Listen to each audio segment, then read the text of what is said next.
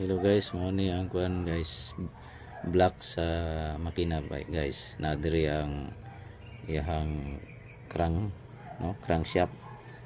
Imo ni connecting rod o piston na sulod ano iyang pasunod nga number gikan sa 1 2 3 4 hmm.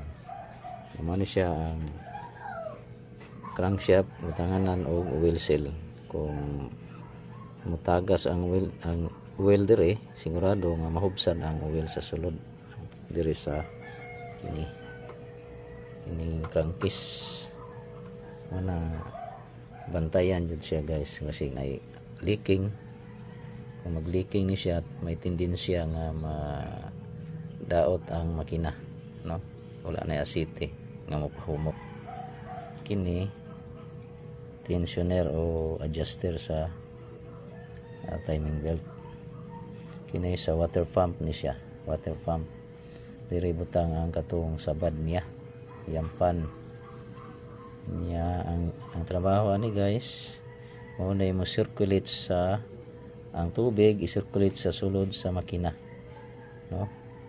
Ni ang trabaho nga mag circulation sa makina aron mo hatag og pabugnaw sa makina.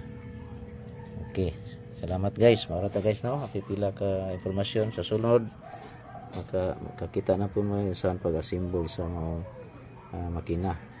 Kini day guys mo ni siya ang head no? Kunay mga kuha na siya. Ay camshaft rocker arm spring. Nya na po diri ang barbula. Kini diri spring sa barbula. Mo ni ang kini mo ni siya ang barbula.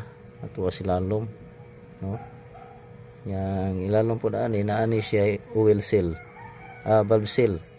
Kung para nindot ang imong kuan makina way aso ilan ang kondisyon ng imong oil seal no? Bago tanan. Bali 12 ni siya ka uh, valve seal no valve seal. Hmm. Ya. Kini mga rocker arm ni siya guys. Ipananggal na nako guys. Uh, makita na to sunod nga symbol guys. Salamat sa pag tanaw guys. Thank you for watching